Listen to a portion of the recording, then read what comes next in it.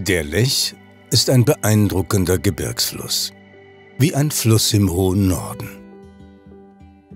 Inmitten Europas liegend.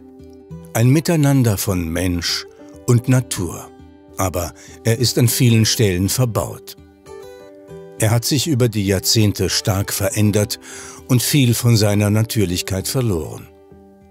Ziel des Live-Projekts dem Fluss wieder mehr Gestaltungsraum zurückzugeben. Mehr Platz für neue Schotterbänke, Seitenarme, kleine Gewässer, Auwälder. Mehr Platz für Spezialisten des Flusses wie Steinkrebse, Flussuferläufer und Regenpfeifer, Schnarrschrecken, Zwergrohrkolben und den Menschen. Um das Ziel von Live Lech zu verstehen, muss der Fluss als Ganzes ähnlich einem Organismus gesehen werden.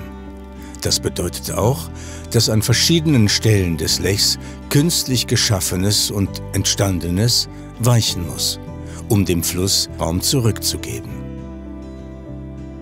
Der Fluss verändert sich ständig durch Abtrag und Anlandung von Kies und Schotter aufgrund von Erosionen und Ablagerungen. Es entsteht ein Labyrinth an kleinen Schotterinseln und Gewässerläufen. Spezialisten wie Flussuferläufer oder Flussregenpfeifer sind an die sich ständig ändernde Flusslandschaft angepasst. Diese Bodenbrüter brauchen die Hochwässer, sie halten die Landschaft offen und schaffen ständig Neues. Am Rand der Überflutungsflächen bilden sich Sandbänke, die regelmäßig durchfeuchtet werden. Sie sind die Wiege der Zwergrohrkolben und Tamarisken. In Tirol bis hin zum deutschen Grenzbereich befinden sich auf weiten Strecken immer noch naturnahe Flussbereiche.